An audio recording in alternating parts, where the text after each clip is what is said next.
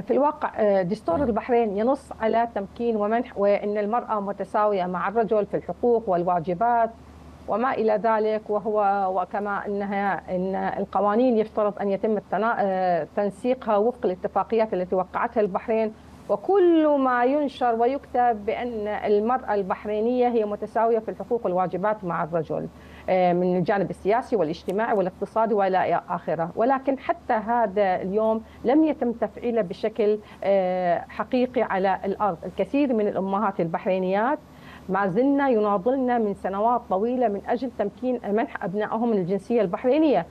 ومع وجود أبنائهم على أرض البحرين تلك السنوات حتى يعني مثلا فوق ال 20 سنة ومع ذلك لم يتمكن أبنائهن من الحصول على الجنسية البحرينية.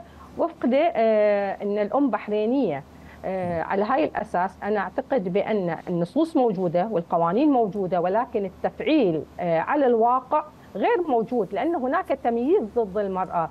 المرأة الرجل عندما يتزوج أجنبية ينص القانون بعد خمس سنوات يستطيع مخاطبة وزارة الداخلية لتمكين لاكتساب الجنسية ويحضر الإثباتات عقد الزواج والإقامة لمدة خمس سنوات ويتم ويتم الإجراءات لتمكينها من الجنسية. ولكن المرأة البحرينية عندما تتزوج لا يمكنها أن تمنح لا زوجها ولا يمكنها أن تمنح أبنائها حق الجنسية حتى جميل. هذا اليوم، يعني الأعداد بطيئة جدا بالنسبة للعدد الذي تقدم في الحصول على الجنسية البحرينية ولكن التمييز سيد الموقف في البحرين. نعم.